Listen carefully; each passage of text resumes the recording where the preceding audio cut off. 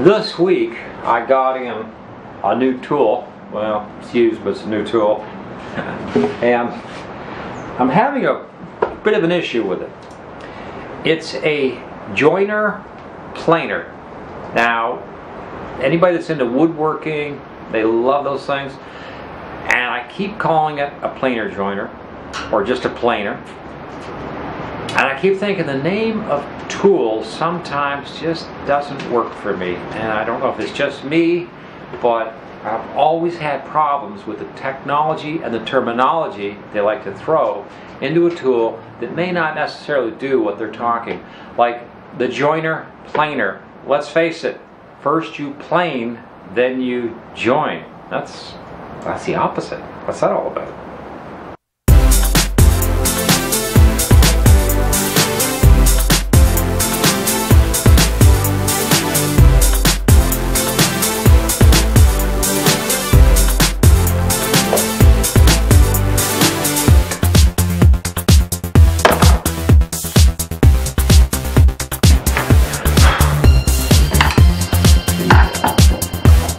Uh, got a lot of funny names these days. And some of the names don't always seem to work with me. Uh, like, I guess you say it gets really strange was like this one here. Uh, you know, what is that? Well, I've heard everything from a left-handed metric wrench, but I always consider it to be a great uh, electrician's hammer. Yeah. This one here is uh, also uh, probably I've always called it a, you know, a pry bar, isn't it? Sure it is. And this, this is my, uh, this is this is my hammer. I like this hammer because it's rubber.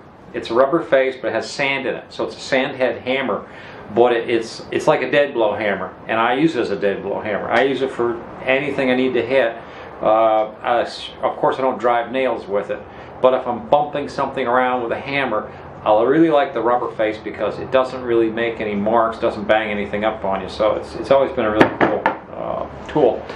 What I wanted to talk about today was uh, they came out, I guess about 10 years ago, about 10, 12 years ago. And I think the company's name at the time was Teague. And it was as seen on TV, and you know, he said three payments of $90 or something in, and the tool is uh, becomes yours.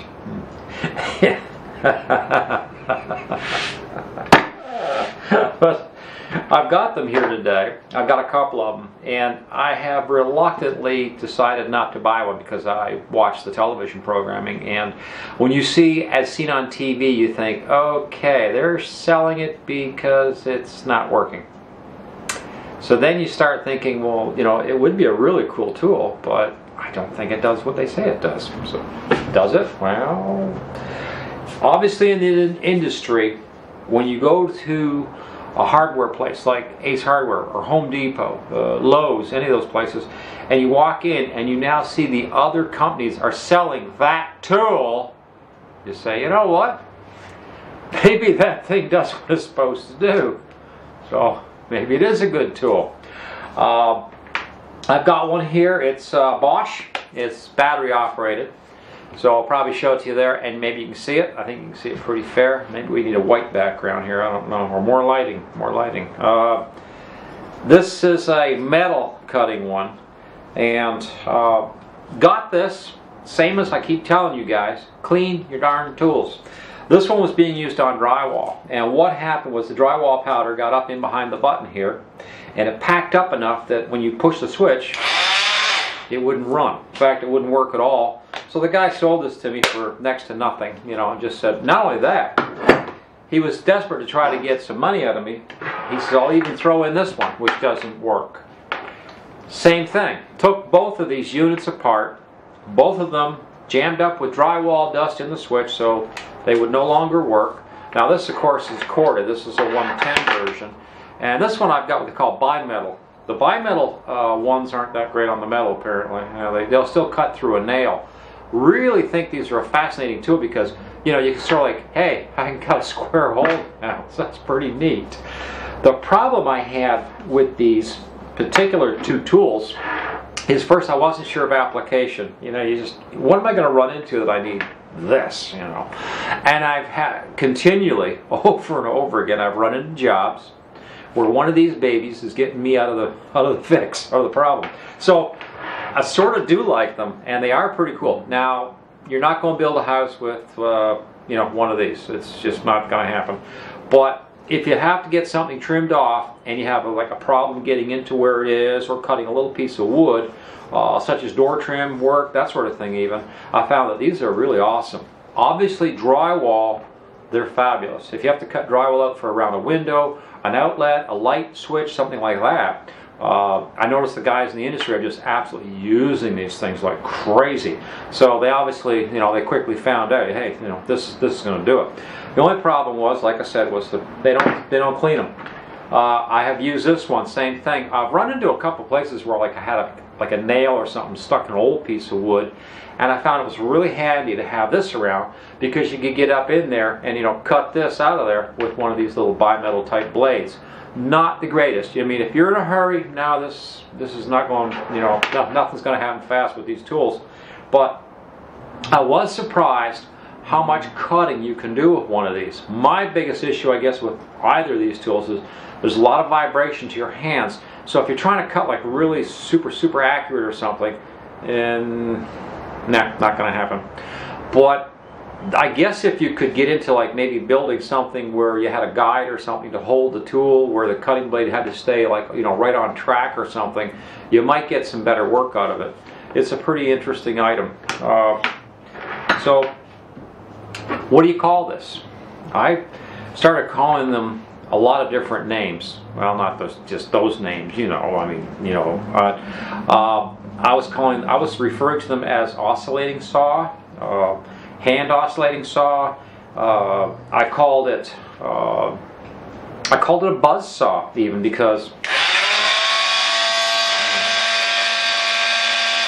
it buzzes, makes a lot of buzz noise.